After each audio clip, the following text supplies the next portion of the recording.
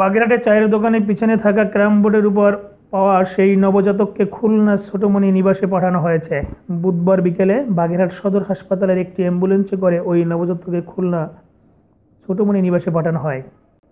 সদর হাসপাতাল চত্বর থেকে নবজাতককে অ্যাম্বুলেন্সে তুলে দেন সমাজসেবা অধিদপ্তরের বাগেরহাটের উপপরিচালক এস এম রফিকুল ইসলাম।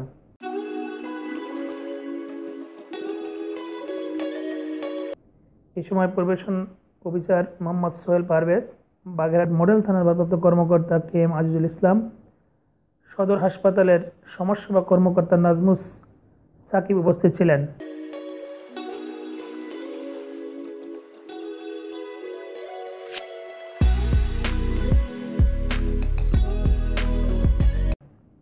এর আগে সোমবার সাত জুন ভোর চারটার দিকে বাগেরহাট সদর উপজেলার চিতুলি বোটপুর গ্রামের সাইদুলের চায়ের দোকানের পিছনে থেকে ওই মেয়ে নবজাতককে উদ্ধার করা হয়। পরে বাগেরহাট সদর হাসপাতালে ভর্তি করে বাগেরহাট মডেল থানা পুলিশ। নবজাতককে উদ্ধারের খবর পেয়ে অনেক নিঃসন্তান দম্পতি শিশুটিকে দত্তক নিতে আবেদন করেছেন।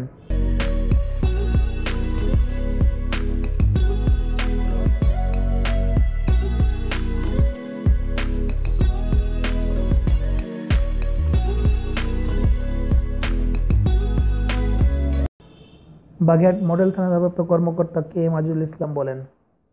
আপনাকে ধন্যবাদ। গত সাত তারিখে রাত তিনটের সময় জাতীয় জরুরি সভা ট্রিপল নাইনের মাধ্যমে আমরা জানতে পারি একটি শিশু বাচ্চা আমাদের বেমার্তা ইউনিয়নে সে একটি দোকানের ক্রাম বোর্ডের উপরে পাওয়া যায়। তা আমরা সেই সংবাদটা পেয়ে দ্রুত সেখানে পৌঁছাই এবং স্থানীয় জনগণের সহায়তায় আমরা শিশু বাচ্চাটিকে সাথে সাথে বাগেরহাট সদর হাসপাতালে এনে ভর্তি করি। অতপর আমরা বিষয়টি জেলা সমাজসেবা অফিসার মহোদয়কে জানাই এবং উনরা হসপিটালে তার চিকিৎসার এবং যাবতীয় ব্যবস্থা গ্রহণ করেন। এ ব্যাপারে আমরা জেলা সমাজসেবা কর্তৃপক্ষ এবং পুলিশ প্রশাসন উভয়ে পরস- পারস্পরিক সমঝোতার ভিত্তিতে বাচ্চাটিকে এখানে চিকিৎসার ব্যবস্থা গ্রহণ করা হয়। হসপিটালের ডক্টর সাহেবরাও এবারে যথেষ্ট আন্তরিক ছিলেন। অদ্য তাকে জেলা সমাজসেবা অফিসার মহোদয় কর্তৃক শিশু নিবাস কেন্দ্র, শিশু পরিচর্যা কেন্দ্র খুলনাতে প্রেরণ করা হচ্ছে। সেখানে যথাযথ পুলিশ স্কটের মাধ্যমে প্রেরণের ব্যবস্থা নেওয়া হয়েছে। আমরা পুলিশ স্কট প্রদান করেছি।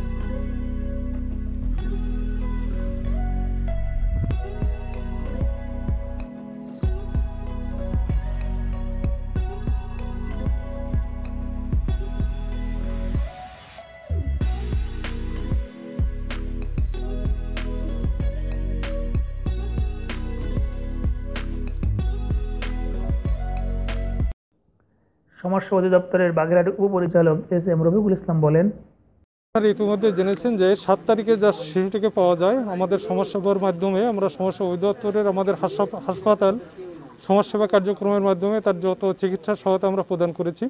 ইতিমধ্যে আমরা জেলা শিশু কল্যাণ বোর্ডের সভাপতি, জেলা প্রশাসক মহোদয়ের সাথে আলাপ করেছি এবং আমরা চেয়েছিলাম জেলা প্রশাসক মহোদয়ের মাধ্যমে বিভিন্ন যেসব আবেদন আসছে, আমাদের জমা হচ্ছে আর কি। আমরা তিন দিন, আজকে পর্যন্ত আমরা আবেদন নিয়েছি, ইতিমধ্যে আমরা পনেরোটা আবেদন পেয়েছি।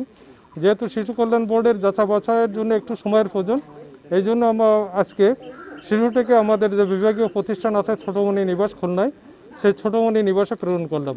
আমি ধন্যবাদ জানাচ্ছি পুলিশ প্রশাসনকে সার্বিক সহযোগিতা করার জন্য এবং হাসপাতাল কর্তৃপক্ষকে অবশ্যই ধন্যবাদ জানাচ্ছি এবং জেলা শিশু কল্যাণ বোর্ডের সভাপতি, জেলা প্রশাসক মহোদয় সার্বক্ষণিক আমাদের সহযোগিতা করেছেন, দিক নির্দেশনা দিয়েছেন, এজন্য তাকেও ধন্যবাদ জানাচ্ছি।